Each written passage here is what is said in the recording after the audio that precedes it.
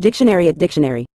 In a general context, elegance refers to a quality or characteristic that embodies a refined simplicity, gracefulness, and tastefulness in appearance, behavior, or design.